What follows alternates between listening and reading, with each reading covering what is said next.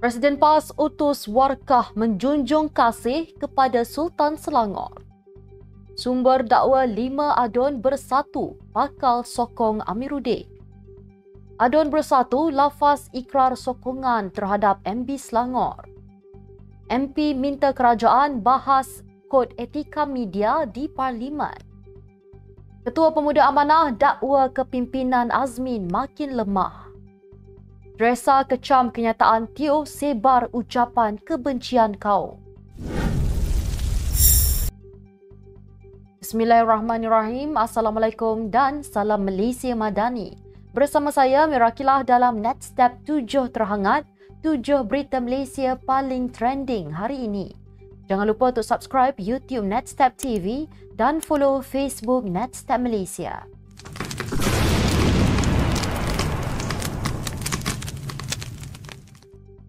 Presiden PAS Tan Sri Abdul Hadi Awang mengutuskan warkah menjunjung kasih kepada Sultan Selangor, Sultan Sharafuddin Idris Shah. Pejabat Presiden PAS dalam kenyataan ringkas memaklumkan warkah itu diserahkan kepada Setiausaha Sulit Sultan Sharafuddin, Datuk Muhammad Munir Bani. Pada 29 Februari lalu, Sultan Sharafuddin menzahirkan rasa amat duka cita dengan kenyataan Abdul Hadi yang ditujukan kepada alim ulama' peguam, hakim, ahli-ahli parlimen dan Dewan Undangan Negeri serta Raja-Raja Melayu. Kenyataan yang dikeluarkan oleh Abdul Hadi itu bertajuk Ketinggian Islam Wajib Dipertahankan pada 20 Februari lalu di portal berita pas.org.my. Menurut Muhammad Munir, baginda menzahirkan duka cita itu menerusi satu surat yang diutuskan kepada Pesuruhjaya PAS Selangor, Datuk Dr. Abdul Halim Tamuri bertarikh 27 Februari. Baginda turut menasihatkan supaya Abdul Hadi lebih berhati-hati di masa hadapan agar tidak mengulangi perbuatan menghina Raja-Raja Melayu melalui kenyataan beliau yang boleh memecah belahkan umat Islam di negara ini. Ada ura-ura mengatakan lima adun bersatu Perikatan Nasional bakal memberikan sokongan mereka kepada kepimpinan Menteri Besar Selangor Datuk Seri Amiruddin Syari. Menurut sumber, kumpulan tersebut akan diketuai oleh seorang bekas pengerusi Bersatu Selangor.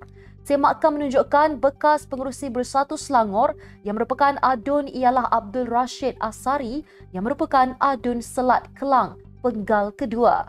Menurut satu lagi sumber, baki empat adun yang akan turun menyokong ialah Wakil Jeram, Batang Kali, Sungai Kandis dan Dengkil.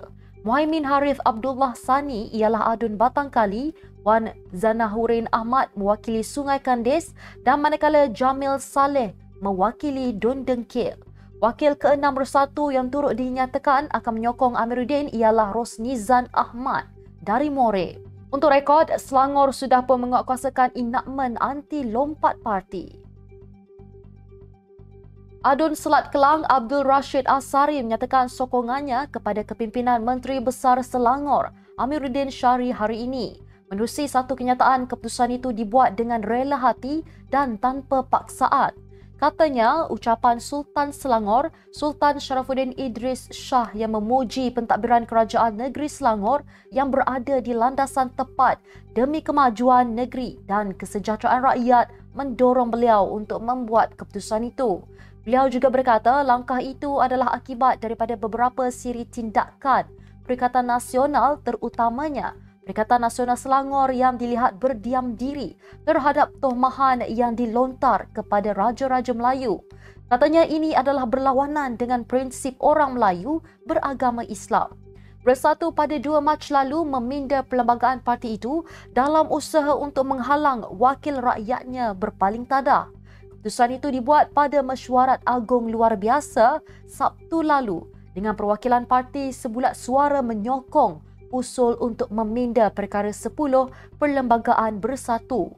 Artikel itu menetapkan perkara berkaitan peletakan jawatan dan pemecatan ahli parti.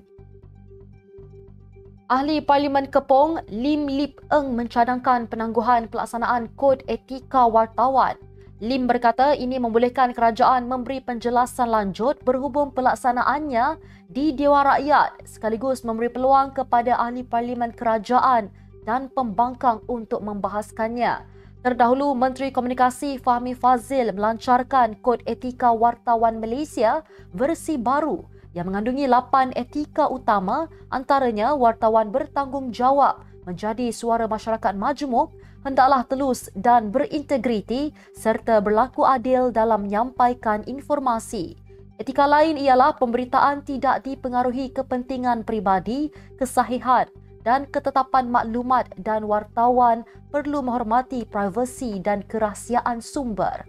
Bagaimanapun ia mendapat bantahan kritikan termasuk daripada pengamal media yang memandang serius keputusan kerajaan untuk memperkenalkan kod etika wartawannya sendiri yang turut memberi kuasa kepada Jabatan Penerangan untuk membatalkan kad media.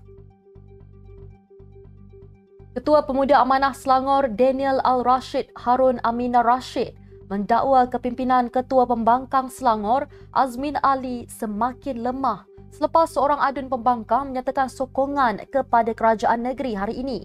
Daniel berkata keputusan yang diambil oleh adun Selat Kelang Abdul Rashid Asari adalah adun pertama bersatu mengisytiharkan sokongan kepada kerajaan negeri yang dipimpin Menteri Besar Selangor Amiruddin Syari. Beliau berkata keputusan itu dapat menunjukkan prestasi pembangkang yang semakin lesu jika memperlihatkan keyakinan pembangkang terhadap kepimpinan ketua pembangkang mula hilang. Tambah beliau lagi, ketua pembangkang kerap menimbulkan spekulasi dan tohmahan dalam dewan sedangkan beberapa ahli dewan pembangkang ingin turut serta dalam memberi pandangan serta hujah konstruktif untuk membangunkan negeri. Terdahulu, Abdul Rashid yang juga bekas pengurusi Bersatu Selangor berkata dia memutuskan untuk menyokong kerajaan negeri selepas meneliti ucapan Sultan Selangor, Sultan Sharafuddin Idris Shah yang memuji pentadbiran kerajaan negeri. Ahli Parlimen Seputih Teresa Kok membidas dakwaan ahli akademik Teo Kok Siong bahawa sekolah Cina menyebarkan perkauman terhadap orang Melayu sebagai ucapan kebencian perkauman yang boleh menyebabkan perpecahan antara masyarakat. Kenyataan Tio itu katanya boleh menjejaskan prinsip perpaduan dan keterangkuman yang harus ditegakkan dalam masyarakat. Beliau berkata dakwaan Tio yang mengatakan individu berpendidikan Cina memandang rendah dan memperlekehkan orang Melayu bukan sahaja tidak benar tetapi juga berniat buruk. Kenyataan sebegitu hanya berfungsi untuk mengekalkan stereotip dan mendalamkan keretakan dalam masyarakat berbilang budaya. Teresa mengulas Tio yang mendakwa pemimpin DAP itu dalam penafian berhubung kenyataannya bahawa sekolah vernacular China menyebarkan perkauman. Bekas fellow utama Institut Kajian Etnik Universiti Kebangsaan Malaysia itu mendakwa bahawa perbualan dengan persepsi negatif terhadap masyarakat Melayu dan India adalah kebiasaan dalam kalangan generasi Cina di Malaysia dan ia semakin ketara dengan kemunculan media sosial. Timbalan Presiden Bersatu Ahmad Faizal Azumu menganggap negara akan menghadapi kerugian jika terus gagal memanfaatkan ruang yang ada untuk membolehkan artis antarabangsa mengadakan persembahan di negara ini. Beliau berkata terdapat ramai penghibur carta atasan boleh dibawa untuk beraksi di negara ini melalui kaedah sedia ada namun langkah tersebut tidak dilakukan. Bahkan bekas Menteri Besar Perak itu mendesak langkah lebih agresif perlu digerakkan untuk membolehkan selebriti terkenal datang membuat persembahan di negara ini. Beliau turut meminta kerajaan untuk bergerak bagi mendapatkan artis atasan ini menerusi media sosial sambil mengiringnya dengan laporan mengenai konsert penyanyi Amerika Syarikat Taylor Swift di Singapura. Semalam, media melaporkan Perdana Menteri Singapura Lee Hsien Loong berkata langkah menjadikan republik itu sebagai destinasi tunggal konsert Taylor di Asia Tenggara bukanlah tindakan yang tidak mesra terhadap negara-negara lain di rantau berkenaan. Sebaliknya, kata Lee, Singapura memang menyediakan insentif tertentu melalui dana pembangunan pelancongan dan ia terbukti sangat berjaya untuk mereka. Sekian sahaja tujuh terhangat hari ini. Jangan lupa bersama saya setiap hari pada waktu yang sama untuk ikuti tujuh berita Malaysia paling trending hanya di tujuh terhangat. Follow Facebook Netstab Malaysia dan subscribe YouTube Netstab TV. Netstab Malaysia menjangkau informasi, mengorak inspirasi. Saya Mirakila, Assalamualaikum dan salam sejahtera.